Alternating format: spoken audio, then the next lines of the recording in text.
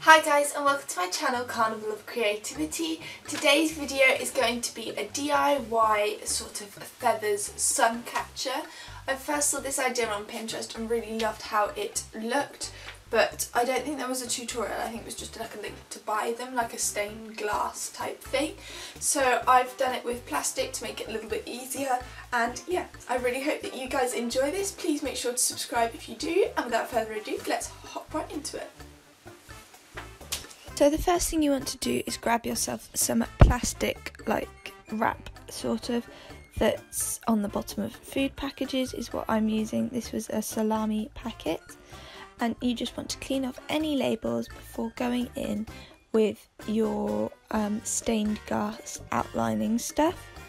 Um, and then just simply draw out your feather shape. I'm not entirely sure what this stuff's called.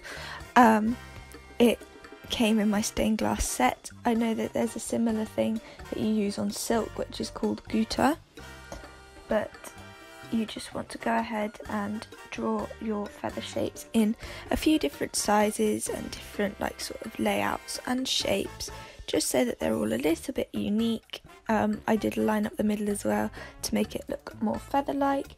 Another thing that I think would look really cool is if you popped some like dots inside it for an added design um, going into the center stick but then you just want to leave this to dry um, as per your instructions mine said about an hour um, before going in with your stain effects so I wanted to do a gradient effect for my um, feathers.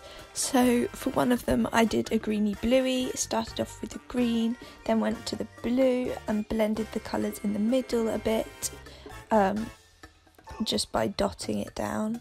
Um, then once you've done that colour you want to finish off with your next colour and just play around with the way the colours mix as you like it.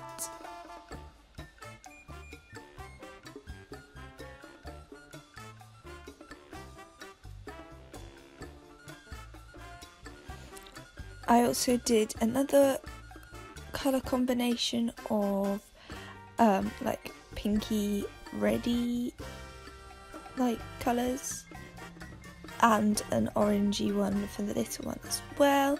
Starting off again with um, the lighter of the colours before working my way down, swapping colours, blending the line together so that it's nice and like blended.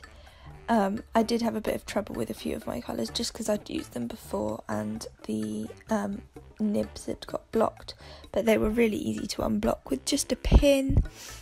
And you also want to make sure that you're not leaving any air bubbles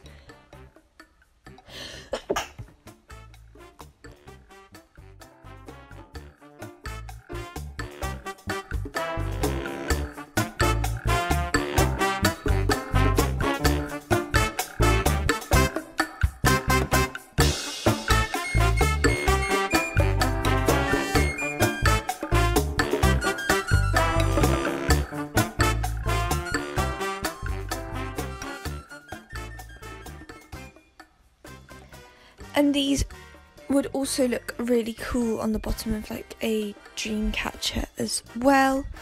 Then once again, once they have dried as per your instructions, I left mine overnight to make sure that they were nice and fully dry. You just simply want to cut your feathers out. I then also tied some string around them so that I could hang them from the window handle and there we are. Thanks for watching this video guys, I really hope that you enjoyed it. I think the feathers look really nice and really effective with the gradient effect on them. Please make sure to subscribe if you like this video and I will see you all next time. Bye guys!